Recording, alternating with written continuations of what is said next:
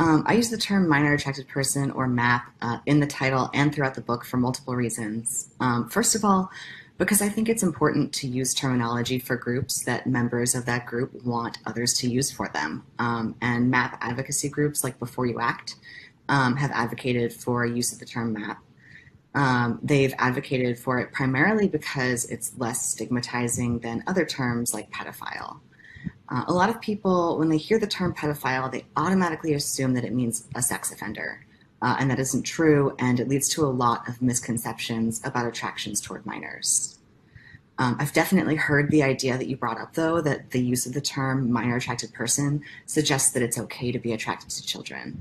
Uh, but using a term that communicates who someone is attracted to doesn't indicate anything about the morality of that attraction. And non offending maps, by definition, do not abuse children, so their behaviors are moral.